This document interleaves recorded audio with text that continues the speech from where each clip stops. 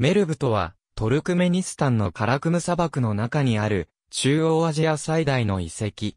トルクメニスタンでは、丸と呼ばれている。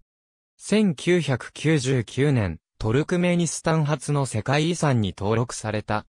元は、ホラーサーン地方の中心都市の一つで、シルクロードのオアシス都市として栄えた。人口は100万人に達したと言われる。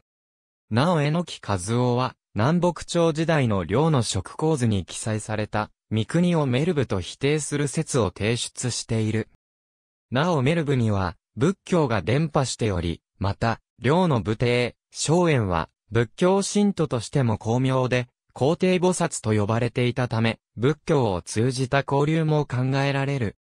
メルブに残る、エルクからの移行紀元前6世紀から、アケメネスはサペルシャの支配下にある一オアシス都市として繁栄し始める。当時はマルグと呼ばれ、マケドニア王国期にはマルギアナと呼ばれた。マルギアナの遺構は円形のオホスレンガ城壁で囲まれたエルクカラとして知られる。エルクカラは12ヘクタールに達する都市であった。その後、セレウコス朝時代を経て、前2世紀後3世紀のパルティア時代に、エルクカラーを北辺に組み込んだおおむね一辺1.8から 9km の方形に近いプランのギャウルカラが築かれた。面積は約3.5平方キロメートルで城壁に囲まれ、十字に交差する道路で街区が作られていた。ギャウルカラの外側にも楕円型に近い形に城壁が巡っていて、内側の城壁から外側の城壁への距離は、北へは 3km、東西、南方向へは 3.5km であり、総面積は60平方キロメートルに及んだ。ギャウルカラは、サーサーン朝の滅亡する7世紀まで機能していた。メルブには、紀元後1世紀頃に仏教が入ってきたと考えられ、城壁の南東隅に仏寺跡と見られる遺跡がある。他にも当時の仏塔や総印が残されており、8.5センチメートルの仏像の座像と土器に入った経文が発見されている。経文は白樺樹皮にサンスクリット語で書かれていた。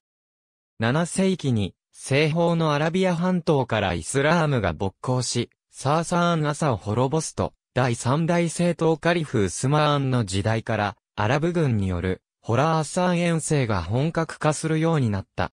649年にバスラ総督に任命されたアブドゥラーイブン・アーミルは、自らアラブ軍を率いて、ホラーサーン諸都市を征服し、ヘラートを征服した。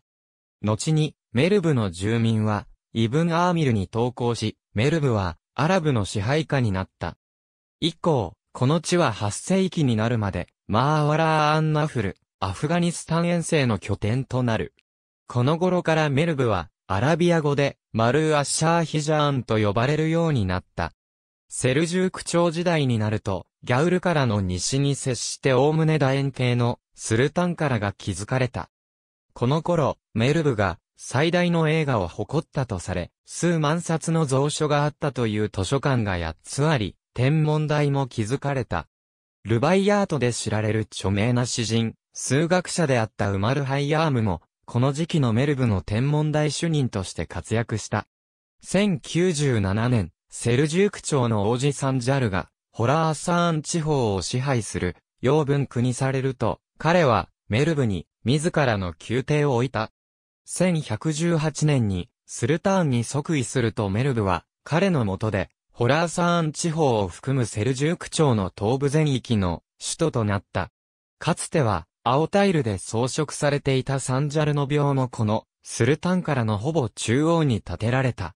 スルタンサンジャル霊廟は、外壁5メートル、基礎6メートルという堅牢なもので、後のモンゴル軍の破壊や地震にも奇跡的に耐え抜き、当時の建築技術の高さを伺わせる。12世紀末も、ホラズムシャー朝支配下の重要な都市として繁栄を続けたが、1218年にチンギス・ハーンの要求を伝えた特使を殺害したため、1221年に、チンギス・ハーンのバッシュトルイ率いるモンゴル騎馬団が、復讐のために攻め込んで、100万人を数えたという、住民を一人残らず皆殺しにした。メルブの町は、廃墟と化し、二度と復興しなかった。大傷からは、高さ20メートル近くあり、かつては2階建てで屋根もあったと考えられているが、現在は1階部分は砂にうずもれ、壁は一部崩壊している。小、傷からとともに、スルタンからの城壁の外、南西の地点に築かれている。この世界遺産は、世界遺産登録基準のうち、以下の条件を満たし、登録された。ありがとうございます。